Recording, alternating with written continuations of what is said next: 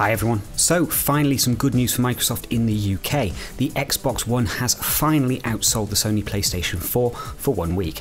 Now, just to add a little bit of texture to this, in the UK we have a major game released every single year called FIFA, which is basically our football game. In America they have Madden, in the UK and Europe we tend to have FIFA. Now, in the UK market, FIFA is well known as a box shifter. It sells a ridiculous number of copies and it's also capable of selling a lot of consoles as well. Now, what Microsoft did is they put together a FIFA bundle Xbox console, no Kinect, but with a copy of FIFA 15 in the box. They sold it for £20 less than the Sony PlayStation 4 at £330. That got them the win that week.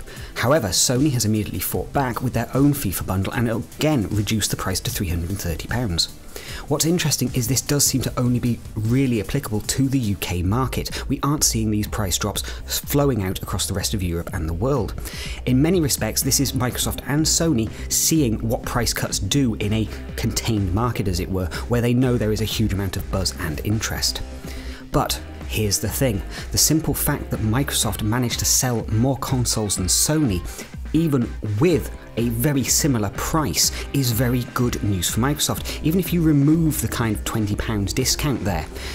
When you think about it, considering the hearts and minds issue Microsoft has been having, to pull level or even pull ahead for one week is fantastic news. It's the kind of stuff we wanted to see from Microsoft if they were really mounting a fight back. From Microsoft's point of view, what they're really going to be worrying about now is if those sales suddenly drop back off again. They need to now maintain, if not a lead, then a close second. Rather than being outsold 2 to 1, it needs to be we're being outsold by maybe 5 or 10%. I think they'd be very happy with that.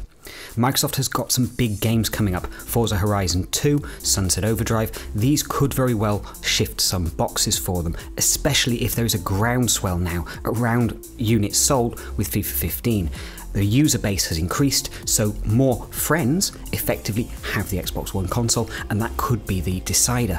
For Microsoft, this is really good news, and it's really good news for gamers as well, because we now have competition in the market, and we can see that competition in the sales numbers. Thanks for watching. Do please subscribe to us on YouTube and Twitch, and please like and comment on these videos as well. We love to chat.